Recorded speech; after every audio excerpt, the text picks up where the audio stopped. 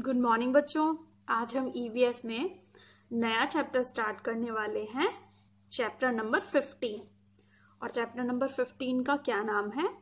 इसका नाम है टाइम्स ऑफ़ एमरजेंसी ठीक है? E M E R G E N C Y emergency की जो प्रॉपर हिंदी होती है बच्चों, वो होती है आपातकाल। आपातकाल। थोड़ी सी अजीब लग रही होगी आपको, क्या मैडम बता रही हैं, कितनी डिफ़िकल्ट है, ठीक है? तो थोड़ा सा हम इसके बारे में पहले समझते हैं, ये आपातकाल क्या होता है। आपातकाल का मतलब कोई ऐसी घटना का घटित होना होता है, जिसकी तैयारी हमने पहले से नहीं की होती है, जो अचानक से हो जाती है रैंडम हो जाती है, ठीक है? कोई भी ऐसी ट्रेजरी यानी कि दुर्घटना भी बोल सकते हैं उसको डिजास्टर भी बोल सकते हैं उसको, जो अपने आप हो जाती है। और अपने आप होने पर क्या करती है? लोगों को नुकसान करती है। जो लोगों की चीज़ें होती हैं, जो प्रॉपर्टी होती है, उनको नुकसान पहुंचाती है। उसको बोलते हैं इमरजेंसी ठीक? अब टाइम्स का मतलब क्या होता है कि इमरजेंसी का टाइम यानी कि कब कब ऐसी दुर्घटनाएँ घटती हैं कौन कौन से टाइम पर घटती हैं क्या क्या होता है उनमें, ये सारी बातें हम इस चैप्टर में पढ़ने वाले हैं। और साथ में ये भी पढ़ने वाले हैं कि इमरजेंसी अगर आ जाए तो हमें क्या करना चाहिए? पैनिक होना चाहिए मतलब घबराना चाहिए, या शांति से अपने दिमाग को चलाकर ये सोचना चाहिए कि नुकसान तो होना ही है तो हम ऐसी क्या कोशिश करें जिससे कि हमारे नुकसान कम से कम हो जाए? ठीक है? तो वैसे देखा जाए तो बहुत इंपॉर्टेंट चैप्टर है, क्योंकि ये जो इमरजेंसी है, इसका सामना हमें कभी ना कभी करना पड़ता है। अब हम एक ऐसे क्षेत्र में रहते हैं जहाँ इमरजेंसी कम आती हैं, लेकिन जो लोग कोस्टल एरियाज़ में रहते हैं, जो लोग हिल एरियाज़ में रहते हैं, वहाँ पर इमरजेंसी अक्सर कर आती रहती हैं तो वो लोग हमसे ज़्यादा करेजियस होते हैं, हिम्मती होते हैं इमरजेंसी को डील करने में। लेकिन इसका मतलब ये बिल्कुल भी नहीं है कि हमारे सामने कभी इमरजेंसी आएगी ही नहीं। हो सकता है कि हमारी जो पर्सनल लाइफ है, उसमें कोई एमरजेटिक सिचुएशन आ जाए। तो ऐसी सिचुएशन को डील करने के लिए हमको हमेशा तैयार रहना चाहिए। ठीक है? चलिए अब हम चैप्टर को रीड करना स्टार्ट करते हैं और उसके थ्रू और डिटेल में जाएँगे कि इमरजेंसी क्या होती है कौन कौन से टाइप की इमरजेंसी होती है and how to deal with that disasters fine let's start reading the chapter events that occur suddenly causing great loss of life and property at a particular place is a disaster. सबसे पहला है ना disaster किसे कहते हैं? Events यानी कि घटनाएँ अकर जो घटित होती हैं सडनली अचानक से। ऐसी घटनाएँ जो अचानक से घटित होती हैं causing great loss of life और जिनकी वजह से क्या होता है? इंसान के जीवन का बहुत नुकसान होता है, बहुत हानि होती है। एंड प्रॉपर्टी और इंसान के सामान का भी नुकसान होता है। एट अ पर्टिकुलर प्लेस किसी एक विशेष जगह पर, पूरे सारे एरिया में नहीं होता है ऐसा कुछ, या फिर कह सकते हैं पूरे देश में या पूरे वर्ल्ड में नहीं होता है होता है ऐसा। इज़ द डिजास्टर उसको डिजास्टर सिचुएशन कहते हैं। यानी कि डिजास्टर क्या होता है? डिजास्टर वो घटना होती है जो अचानक होती है और जिससे हमारा और हमारे हमारे जीवन का और हमारी संपत्ति का दोनों का नुकसान होता है और वो किसी पर्टिकुलर प्लेस पर घटित होती है। ठीक है? अ डिजास्टर में affect a few people and a whole community living in the area. ठीक है? या लिविंग इन दैट एरिया कुछ भी हो सकता है यहाँ पर, ये रहोगे। ठीक है? द लगा देते हैं हम यहाँ पे केवल। तो डिजास्टर क्या कर सकता है? डिजास्टर हमें प्रभावित कर सकता है। डिजास्टर जो है वो कुछ लोगों को प्रभावित कर सकता है या पूरे के पूरे समुदाय को कम्युनिटी मतलब समुदाय, लोगों के पूरे के पूरे ग्रुप को प्रभावित कर सकता है। जैसे अभी ये जो कोरोना टाइम चल रहा है, ये भी तो एक प्रकार का डिजास्टर ही है, क्योंकि ये अचानक से आया और ये हमारे जीवन को, हमारी प्रॉपर्टी को नुकसान पहुँचा रहा है।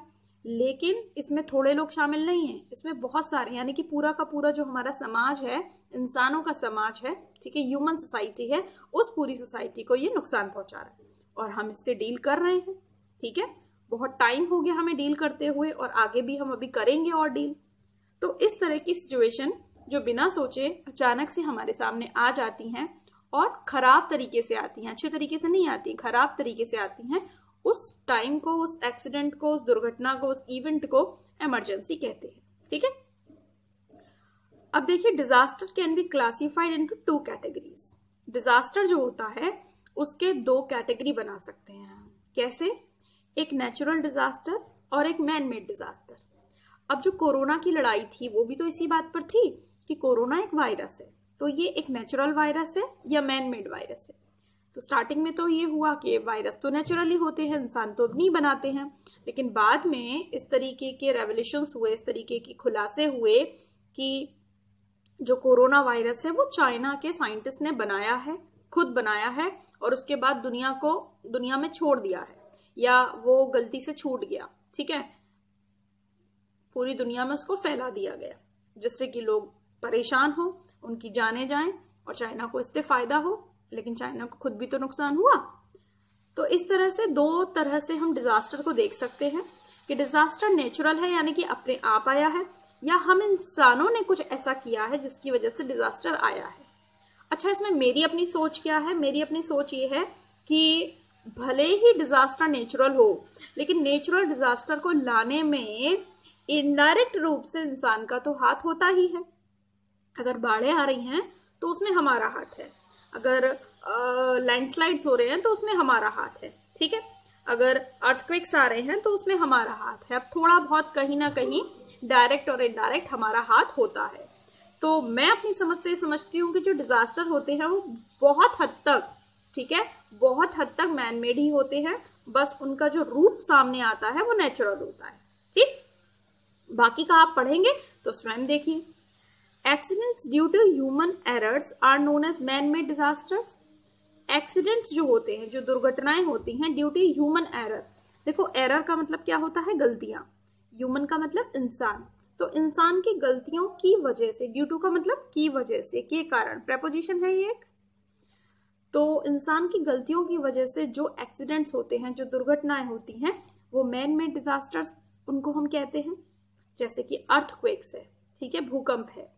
फ्लड है, बाढ़ है, सुनामी है, साइक्लोन है, ये सारे नेचुरल डिजास्टर हैं, जिनके भी मैंने नाम लिए। लेकिन इनके आने में भी कहीं ना कहीं रोल जो होता है ना, वो इंसानों का ही होता है कि इंसान प्रकृति के साथ इस तरह से व्यवहार कर रहा है कि प्रकृति को डिजास्टर्स होना पड़ता है, हमारे लिए हानिकारक होना पड़ता है।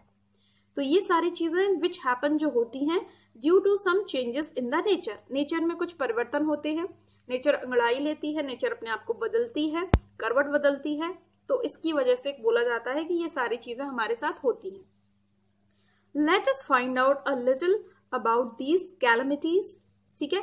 So that we become equipped to face such emergencies and learn what to do in such situation थोड़ा सा लंबा है ब्रेक करके पढ़ते हैं।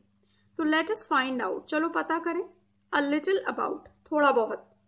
दीज कैलमिटीज यानी कि कैलमिटीज में संकट, ये जो हमारे हमारे साथ संकट घटित होते हैं या हमारे ऊपर जो कैलमिटीज आती हैं, जो संकट आते हैं, उनके बारे में हम चलो पता करें। सो so दैट ताकि, ये कंजंक्शन है। वी बिकम इक्विप्ड हम इक्विप्ड हो जाएँ, यानी कि हमारे अंदर इस तरीके की ताकत आ जाए, हम पहले से व्यवस्था कर सके, हम व्यवस्थित हो जाए, ठीक है? टू फेस सच एमरजेंसीज इस तरीके की जो आपातकाल की स्थितियाँ हैं, उसको फेस करने के लिए फेस करने का मतलब होता है उसका सामना करने के लिए, ठीक है? उसके सामने खड़े होने के लिए, उससे लड़ने के लिए। फेस करने का मतलब उससे लड़ना। एंड लर्न और ये सीखने के लिए कि what to do in such situations कि इस तरीके की सिचुएशंस में हम क्या करें? हम कैसे कोशिश करें कि कम से कम लोगों की जान जाए? हम ये कोशिश कैसे करें कि हमारा नुकसान कम से कम हो? ठीक है? चाहे ह्यूमन बीइंग का पर्सनली नुकसान हो या फिर हम कह सकते हैं पूरी कम्युनिटी का नुकसान हो या जो भी चीज़ें हमने ह्यूमन रिसोर्स डेवलप किए हैं, उनका कम से कम नुकसान हो। ठीक? तो क्या सीखना है? सबसे पहले सीखना है कि होता क्या है ये डिजास्टर ये होती क्या है कैलमिटीज ये होती क्या है इमरजेंसीज कितने टाइप की होती हैं? और जब इनके एग्जाम्पल्स हम पढ़ेंगे तो इनके रीजंस भी पढ़ेंगे कि ये क्यों होती हैं? और फिर लास्ट में होता है कि हम इनसे बचने के लिए क्या क्या चीज़ें कर सकते हैं। ठीक? तो बहुत सारी इसमें नेचुरल डिजास्टर्स दिए हुए हैं। फ्लड है साइक्लोन्स हैं लैंडस्लाइड्स हैं सुनामीज हैं अर्थक्वेक्स हैं। तो एक एक करके हम सबके बारे में पढ़ते हैं। सबसे पहले किससे स्टार्ट करेंगे? फ्लड्स यानी कि बाढ़ से स्टार्ट करेंगे। ठीक है? तो चलिए बच्चों, हम स्टार्ट करते हैं फ्लड से। फ्लड का मतलब क्या होता है? बाढ़। क्या होता है? बाढ़ बाढ़ को हम फ्लड्स बोलते हैं। जब नदी शांति से बहती है तो नदी है, और जब वो इस तरह से बहे कि उसका पानी चारों तरफ़ भर जाए, चारों तरफ़ बिखर जाए, नदी के जो तट होते हैं, नदी के जो किनारे होते हैं, वो रहे ही ना, क्योंकि नदी का पानी उन किनारों को तोड़कर चारों तरफ़ फैल जाए, बिखर जाए, लोगों को नुकसान पहुँचाए लोगों के घर मकान तोड़ दे और सारी, सारा जो शहर है वो डूबने की स्थिति में आ जाए तो उसको हम बाढ़ कहते हैं। ठीक है? तो फ्लड्स अकर बाढ़ें आती हैं, when the level of water in a river increases कब आती हैं? जब पानी का जो लेवल है नदी के अंदर, ठीक? वो बढ़ जाता है, यानी कि नदी की गहराई अब इतनी नहीं रहती है जितना पानी है। तो ज़ाहिर सी बात है कि पानी ऊपर आएगा। Due to very heavy rains ऐसा कब होता है? बारिश बहुत ज़्यादा होने से होता है। मेल्टिंग ऑफ़ ग्लेशियर्स जो पहाड़ों के ऊपर बर्फ़ जमा है, उसको ग्लेशियर बोलते हैं उन पहाड़ों को तो वो जब पिघलते हैं तो वो बर्फ़ पानी में कन्वर्ट होकर पूरी नदी में आ जाती है। ड्यू टू ओवर वार्मिंग यानी कि गर्मी ज़्यादा बढ़ने की वजह से, और लैंडस्लाइड्स या फिर जो धरती स्लाइड करती है, टूट जाते हैं मतलब पहाड़ियाँ पहाड़ियाँ चटक जाती हैं, टूट जाती हैं, फिसलती हैं, उसकी वजह से वो बर्फ़ भी नीचे आती है टूट कर और वो सारा पानी बन के नदियों में पहुँच जाती है। अब जैसा कि मैं कह रही थी कि ऊपर से देखने में फ्लड एक लगता है नेचुरल डिजास्टर अब देखो, लेकिन फ्लड आने के कारण कौन कौन से दे रहे हैं? ओवर वार्मिंग गर्मी का ज़्यादा बढ़ना। तो क्या गर्मी अपने आप ज़्यादा बढ़ती है? नहीं। गर्मी बढ़ाने के लिए हम इंसान जिम्मेदार होते हैं। लैंडस्लाइड्स अपने आप होते हैं, कई बार अपने आप होते हैं, लेकिन मोस्ट ऑफ़ द टाइम उसके लिए हम जिम्मेदार होते हैं। अच्छा पानी का जो लेवल बढ़ता है, वो अपने आप नहीं बढ़ता है, उसके लिए भी हम जिम्मेदार होते हैं। तो फ्लड ऊपर से देखने में ऐसा लग रहा है कि एक नेचुरल डिजास्टर है। लेकिन वो हमारी वजह से आई है। हमने कुछ ऐसे काम किए हैं अपने एनवायरमेंट में, अपने पर्यावरण में, अपने एटमोसफियर में, जिसकी वजह से प्रकृति मजबूर हो गई है। वैसे प्रकृति को माँ बोलते हैं, ठीक है? माँ प्रकृति बोलते हैं। तो प्रकृति माँ मजबूर हो गई हैं कि वो गुस्सा करे और उनके गुस्से के जो सोर्सेस हैं कि वो कौन कौन से भाव से गुस्सा कर सकती हैं तो एक भाव उनका बाढ़ भी है कि उनको जब बहुत तेज गुस्सा आती है तो बाढ़ आ जाती है। अब गुस्सा किसकी वजह से आती है? हमारी हरकतों की वजह से। सोचो, आपकी मम्मी को गुस्सा क्यों आती है? या मेरी मम्मी को गुस्सा क्यों आती है? क्योंकि मैं या आप कुछ ऐसी हरकतें करते हैं, कुछ ऐसे काम करते हैं जो उन्हें बिल्कुल भी पसंद नहीं है। इसकी वजह से उनको गुस्सा आती है। ठीक? इसी तरह से हम वहाँ प्रकृति के साथ भी कुछ ऐसी हरकतें करते हैं, कुछ ऐसे काम करते हैं, जिससे प्रकृति नाराज़ हो जाती है और नाराज़गी स्वरूप फिर बाढ़ आती है और उस बाढ़ से हमें नुकसान होता है। सिंपल सी बात क्या है? बाढ़ कब आती है? जब नदी में पानी का लेवल ऊपर उठ जाता है, ठीक? जब पानी का लेवल बढ़ जाता है तो बाढ़ आती है। पानी का लेवल क्यों बढ़ता है? बारिश ज़्यादा होने की वजह से, ग्लेशियर्स के पिघलने की वजह से, ठीक है? आगे चलते हैं। The destruction caused by floods in no less अब द डेस्ट्रक्शन मतलब सर्वनाश, विनाश, नुकसान। कॉज्ड बाय फ्लड्स जो बाढ़ से कॉज होता है, यानी कि बाढ़ जिसका कारण होती है, जो बाढ़ की वजह से होता है इज़ नो लेस यानी कि कम नहीं है इन नो लेस नहीं इज़ नो लेस या बिल्कुल भी कम नहीं है। जो बाढ़ से होने वाला नुकसान है, वो नुकसान बिल्कुल भी किसी भी तरह से कम नहीं है, बहुत ज़्यादा है। कैसे? क्रॉप्स आर वॉश्ड अवे जब वो बाढ़ का पानी खेतों में जाता है तो खेतों में जो फ़सलें खड़ी होती हैं, वो सब बह जाती हैं, खराब हो जाती हैं। हाउसेज आर डैमेज्ड आसपास जो झोपड़ियाँ होती हैं, जो कच्चे मकान होते हैं, वो सब टूट जाते हैं, खराब हो जाते हैं। People not only lose their belongings but animals and their own life as well लोग अपनी बिलोंगिंग्स यानी कि जो भी उनके पास सामान होता है, वो सब खो देते हैं। और साथ में क्या? जानवर भी खो देते हैं, क्योंकि बहुत सारे जानवर अपने आप को बचा नहीं पाते और बाढ़ के पानी में मरकर बह जाते हैं। एंड देयर ओन लाइफ और अपना खुद का जीवन भी इंसान खो देते हैं। बहुत सारे इंसान भी बाढ़ में बह जाते हैं, मर जाते हैं। Thus there is huge loss of life and property इस तरह से अगर हम देखें तो यूज़ मतलब बहुत बड़ा, इसे हक मत पढ़िएगा प्लीज़ मैं कई बार आपको बता चुकी हूँ, ठीक है? बहुत गंदा लगता है जब बच्चे लोग इसको हक पढ़ते हैं। यूज़ है ये। इट्स अ यूज़ ठीक है? तो there is huge loss of life and property तो हमारे जीवन का और हमारी संपत्ति का बहुत नुकसान होता है जब बाढ़ आती है।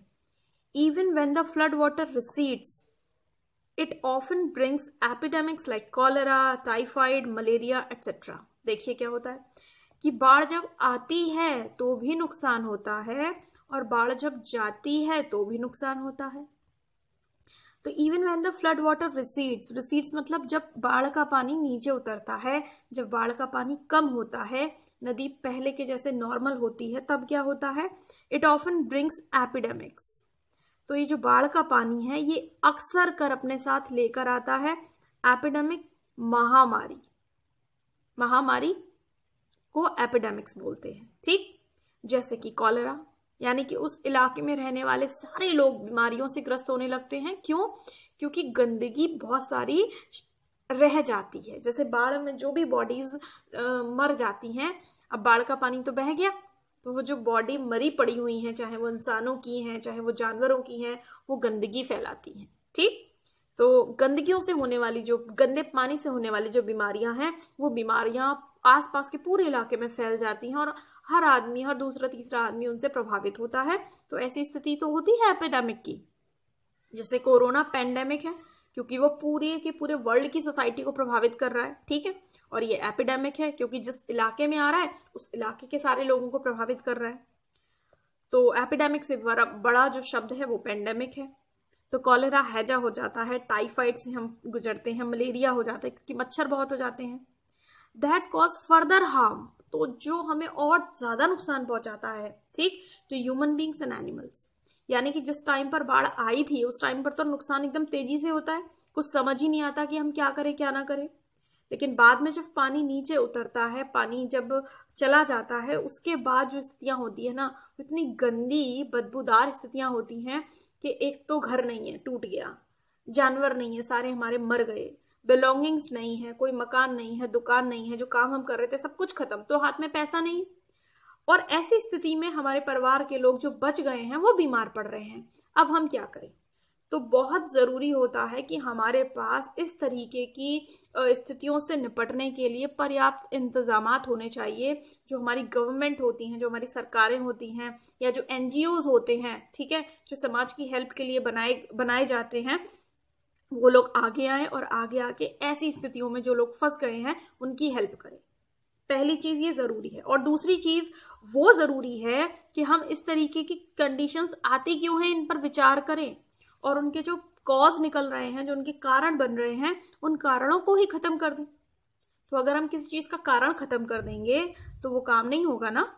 तो जैसे अभी साल में अगर मान लीजिए कि पचास बार बाढ़ आती है, ठीक?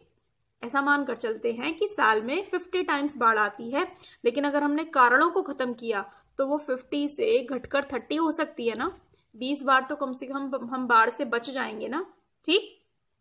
तो ये दोनों तरफ़ हमको काम करना है। एक तो जो बाढ़ आ रही है तो उसके लिए हमारे पास में क्या प्लानिंग है? हम क्या करेंगे उससे बचाने के लिए अपने आप को ताकि हमारा कम से कम नुकसान हो? और दूसरा, हम ऐसा क्या करें जिससे कि बाढ़ की जो फ्रिक्वेंसी है, वो फ्रिक्वेंसी को हम थोड़ा सा रिड्यूस कर लें। ठीक है? तो ये था फ्लड का कॉन्सेप्ट, जो अब आप लोग समझ गए होंगे कि बाढ़ क्यों आती है और बाढ़ आने से क्या होता है। अब आगे है, अर्थक्वेक पढ़ना है, साइक्लोन्स पढ़ने हैं, लैंडस्लाइड्स पढ़ने हैं, सुनामीज पढ़ने हैं, बट वो हम नेक्स्ट वीडियो में कवर करेंगे। अब कुछ पिक्चर्स में आपको बाढ़ की दिखाती हूँ कि लोग किस तरह से बाढ़ में परेशान होते हैं, देखिए, और उसके साथ ही वीडियो एंड हो जाएगा, ठीक है? तो नेक्स्ट वीडियो में फिर मिलेंगे। Chill then keep watching my videos पढ़ते रहिए और सोचते रहिए कि हम क्या बदलाव ला सकते हैं ओके? बाय